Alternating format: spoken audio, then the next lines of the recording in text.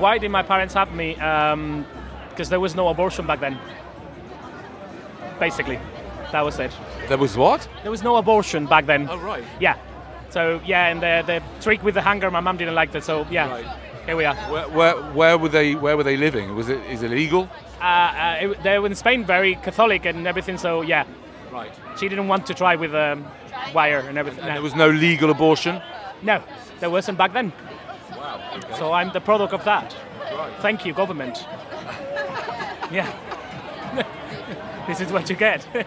And, and what, what what would you uh, say to anybody that you know is campaigning against abortion? What would you say to these people?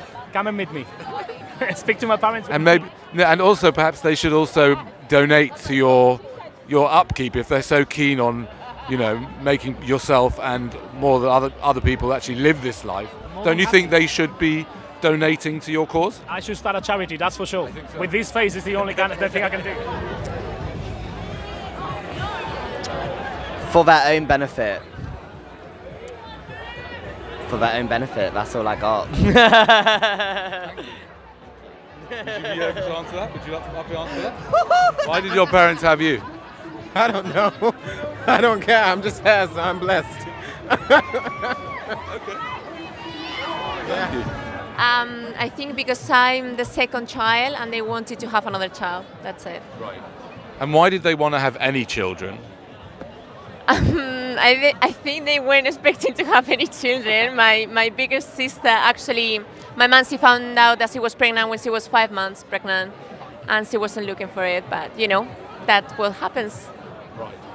Okay. So there wasn't really a good reason to have you, was there? To my sister, but yes, I guess to me, yes. I don't know.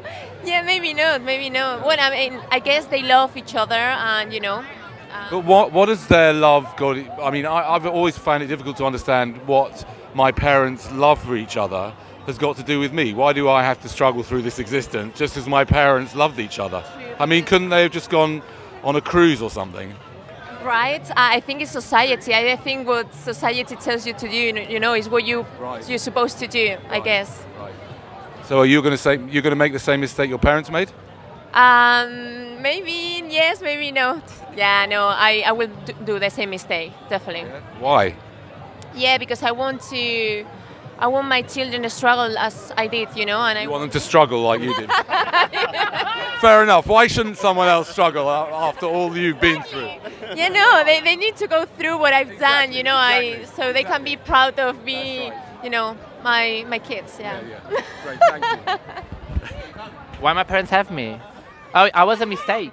I was a great mistake, the perfect mistake, and then I born, like beautiful like I am. Right. You see me? Yeah, I'm But was- beautiful. But it was a mistake. Yeah, perfect mistake. Right. A great one. Thank you.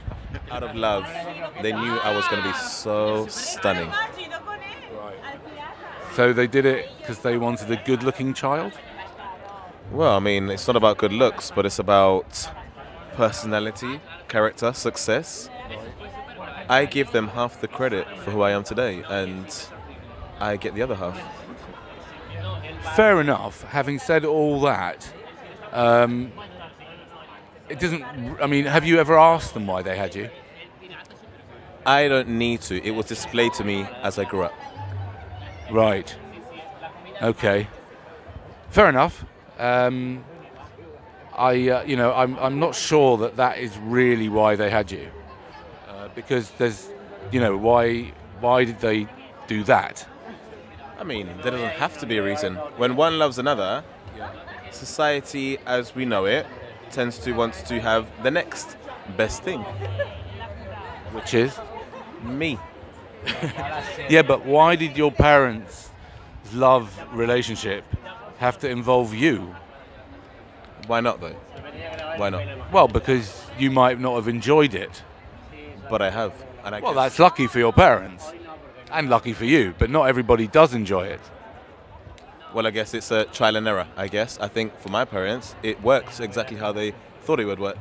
Right. They're the best parents in terms of heritage, their ambitions, their success. It all fed onto me, and I've become half of who they are, and I've become of half who I am authentically, both them and myself. Okay, thank you. why did my parents have me? You'd have to ask them that. So, have you ever asked them that? Have I ever asked them that? I don't know. I don't think I have asked them that.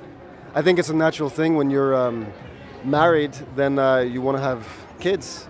I think that's a natural thing. Well, of course, maybe it doesn't apply to everybody, but um, it's generally a natural thing. But uh, also, the reason someone gets married is because of, well, generally sex impulse or attraction to the opposite sex.